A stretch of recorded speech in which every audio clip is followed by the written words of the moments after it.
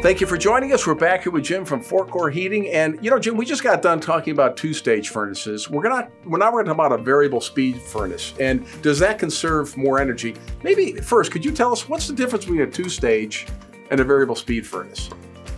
Well, actually, Randy, sometimes they're the same furnace. Okay. Uh, they're both incorporated. The variable speed you're addressing, you're talking about the blower. In two-stage, we're talking about the firing rate. You know, where we're going to okay uh, make it a higher or lower firing rate. But on variable speed, you're talking about the blower.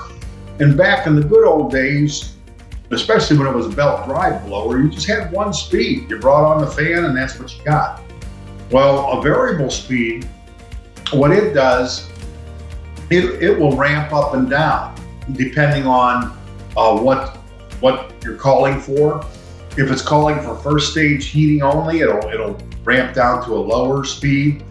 If it's calling for high fire, it'll ramp up to a higher speed. Air conditioning may be yet another speed. You can run it continuously, which this is what a lot of people do. They will run this blower continuously and it'll run at a very low uh, speed, so it's very quiet, but it's moving air through a high filtration system. You put in an air cleaner and it's okay. cleaning your air 24 7. And people get UV lights now. They're, they're, they're, they're, they're, they're very conscious about indoor air quality, especially if they've got breathing problems in the house. Kids with asthma, um, breathing problems.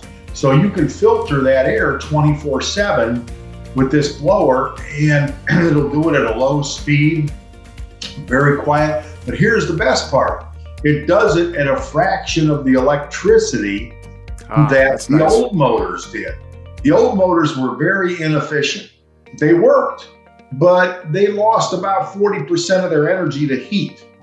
These motors are very efficient. They use electricity very efficiently, so it's going to bring down your electric bill. So imagine, you know, having this running your your blower on your furnace continuously for indoor air quality, but yet using less electricity, less costly electricity on on your furnace.